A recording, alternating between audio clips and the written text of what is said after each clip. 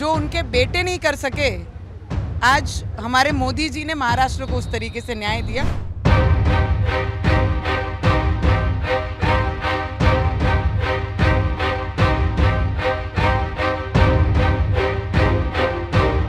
क्या कहेंगे आप लोग फ़िलहाल महाराष्ट्र की राजनीति में भूचाल भौकाल और हर चीज़ बदलाव? मुझे लगता है जो सोच भी नहीं सकता जो विचार भी नहीं कर सकते ऐसी महाराष्ट्र में राजनीति का ये सबके सामने आया है।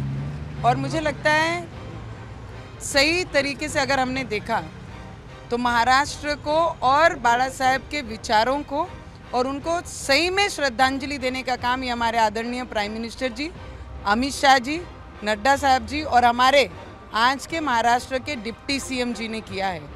इतना बड़ा सैक्रिफाइस इतना बड़ा योगदान सिर्फ़ एक ही कारण जो उनके बेटे नहीं कर सके।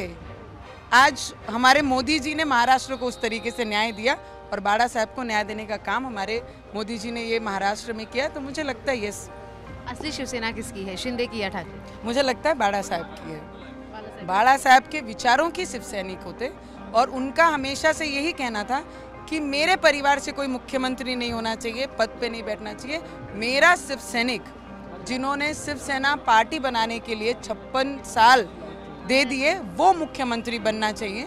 तो मुझे लगता है उनका सपना, अगर किसी ने पूरा किया है तो वो हमारे आदरणीय देवेंद्र फडणवीस जी हैं, मोदी जी हैं और अमित शाह जी हैं। नवनीत, आप अभी खुद देवेंद्र फडणवीस से मिलकर आ रही हैं बातचीत भी की होगी आपने, और कल फ्लोर टेस्ट की भी बात हो रही है, जिस पर अभी भी जो एम की सरकार है, वो सुप्रीम कोर्ट पहुँच गई है कि जो उनतीस, उनचालीस जो लोग हैं एम हैं, उनको हटा दिया जाए। संकट मोचन जी आज तक सब ठीक करते आए हैं। संकट मोचन जी आगे भी बहुत ठीक करेंगे। आज तक का सब समय उन्होंने संभाला है तो आगे भी हमारे संकट मोचन संभालेंगे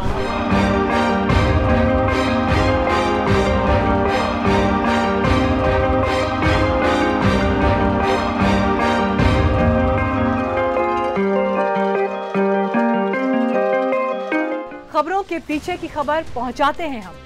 आपकी आवाज़ को मुद्दा बनाते हैं हम। टाइम्स नाउ नव भारत को यूट्यूब पर लाइव देखिए सब्सक्राइब करिए और बेल आइकन ज़रूर दबाइए।